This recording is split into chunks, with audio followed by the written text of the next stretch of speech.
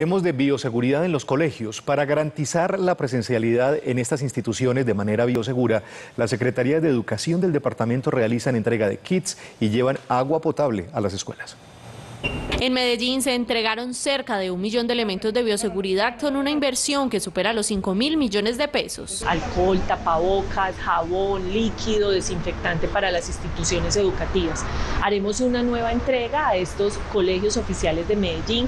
También eh, instalaremos más lavamanos para aquellos colegios que dispongan y que requieran de estos elementos en sus instituciones educativas. El 99% de las instituciones educativas de Medellín ya están en presencialidad con más de 320 mil estudiantes. Más de 12 mil docentes están ya en presencialidad y esto nos tiene muy contentos, así que la educación continúa en Medellín. En Antioquia, mediante una alianza, se lleva agua potable a los colegios. En nueve instituciones del departamento ya se instaló el servicio con una inversión de 370 millones de pesos. Aún faltan 538 sedes.